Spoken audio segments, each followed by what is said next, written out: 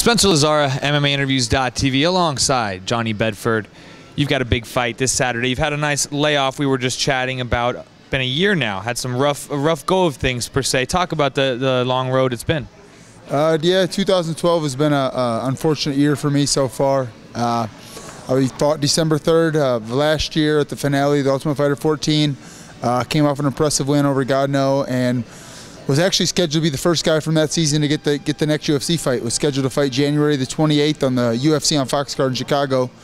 Uh, was in Chicago, uh, and then Wednesday morning got the phone call that said uh, my opponent couldn't get in the country due to visa issues. I was scheduled to fight Canadian Mitch Gagnon, and he couldn't get in the country. So the fight was scratched. Uh, the UFC tried to do the best they could. They paid me my show money. I was thankful for that.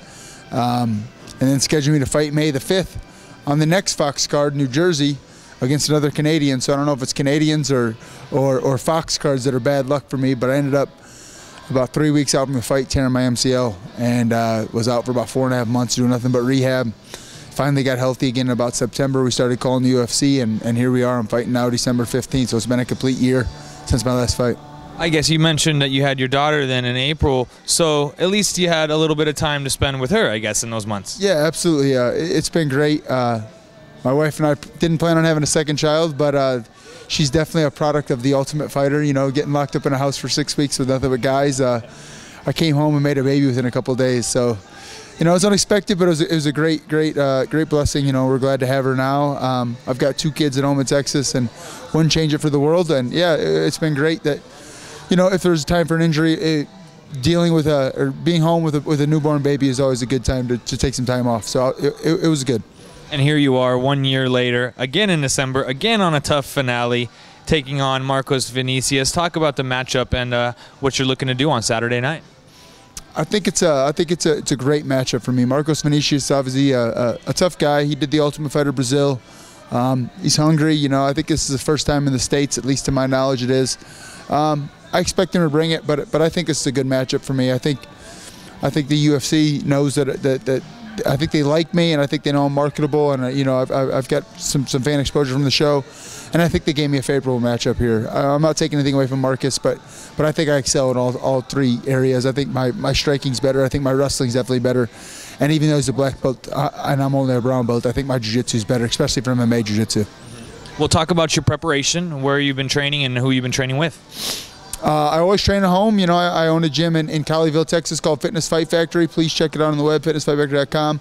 Um, but I cross train with, with, a bunch of different good guys in the Metroplex there. Um, I train every day with Team Takedown with Mark Laimon and Johnny Hendricks and the whole crew over there.